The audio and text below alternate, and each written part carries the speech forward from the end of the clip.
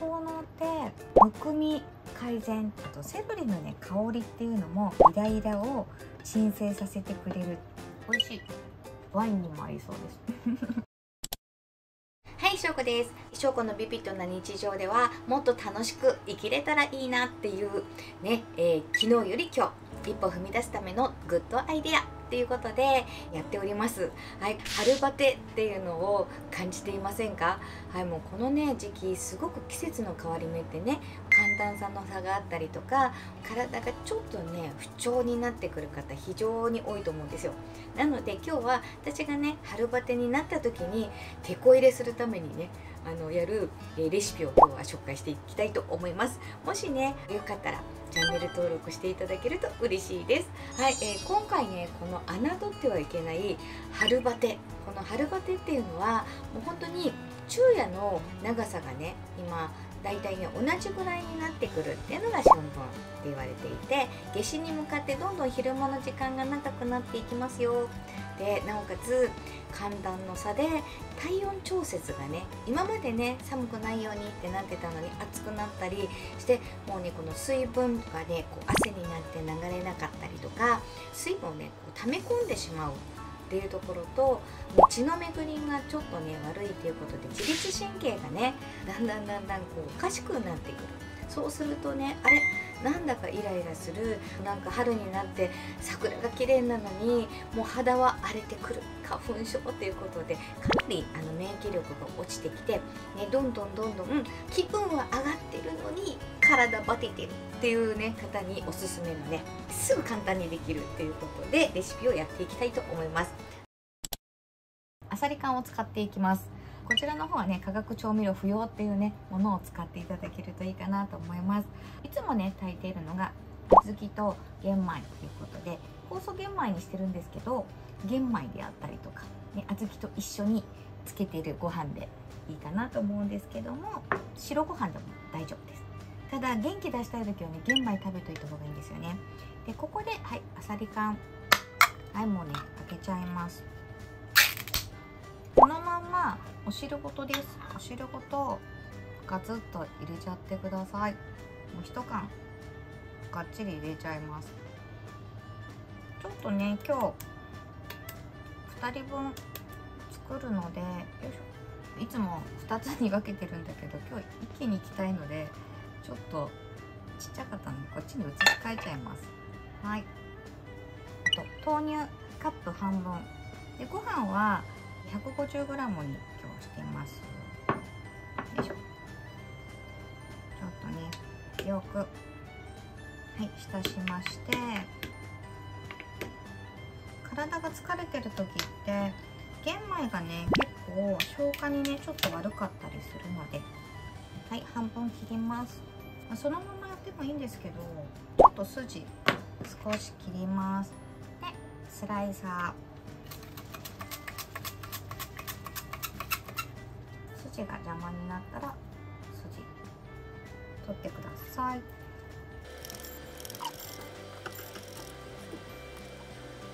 はい。でちょっとだけねだいたいこのぐらいはいスライスしてあげてでそこからちょっと茎のところは皮を残して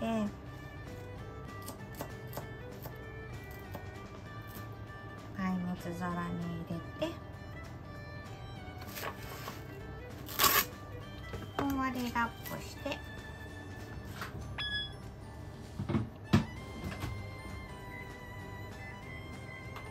はい3分です。でそしたらその間にねオリーブオイルと、はい、粉チーズですね。はいできまし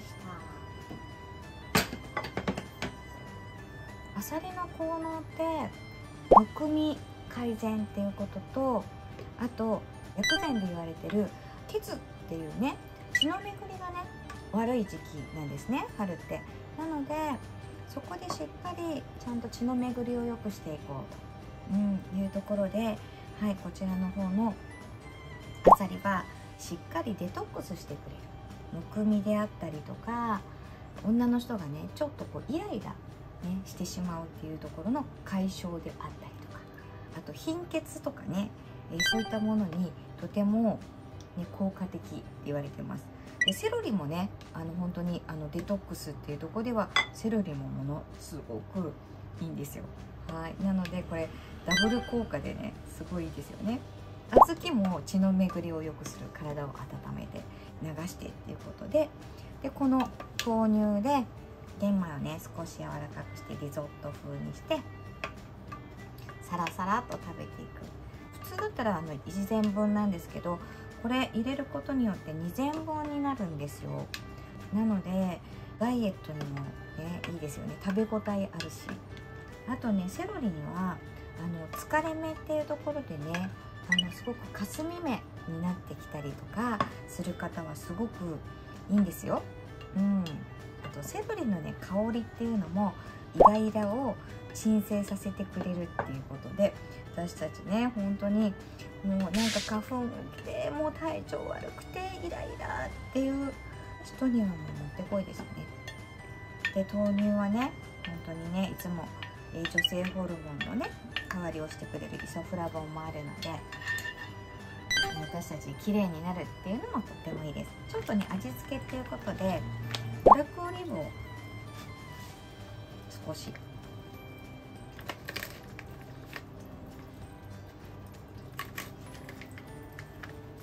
ね食感をちょっと変えてあげるってことでこうやって並べよっと。はい。でそこからちょっとだけオリーブオイルをここからさらに腸内環境を良くするっていうことで私はね美容錠って呼んでるんですけども健康にして肌も良くしていく、ね、腸内環境を美人にしていくっていうことで便秘になる方もこの時期多いのでちょっとオリーブオイルをね足していきます。で少しねはいここからちょっと粉チーズ。そこでねちょっとねあの塩だったりとか胡椒必要だったらちょっとね塩パラパラっとかけときます。最後に粗挽き胡椒をちょっとかけていきます。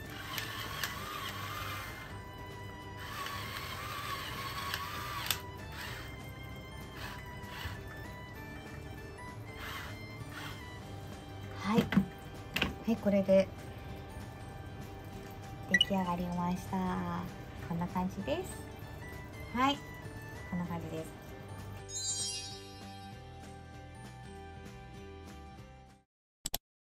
食べていきたいと思います。はいもうこんだけ簡単に できちゃうでしょ？ですごいどうですか？もうね私も本当にあの最近ね夜ちょっとセミナーやってるとあの時間がないんではいこれでねちょっと。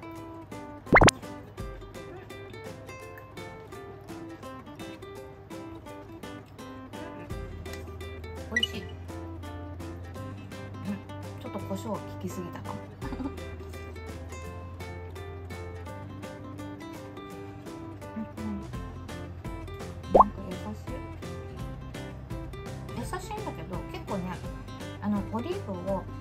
れることによってパンチが効くのでうん。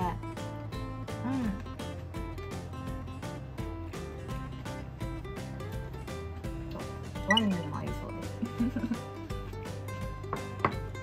はいこうやってね皆さんあの本当に簡単であのね美肌になったりとか体調不良がね良くなったりっていうところの、えー、食事っていうのができてくると思うのでもしねよかったらやってみてください。セロリが買えなかったって言ったらもうあさりだけでもいいのでっていうやっぱり感じないとねいろいろストックできますよね。なので、ね、しっかりね玄米も大抵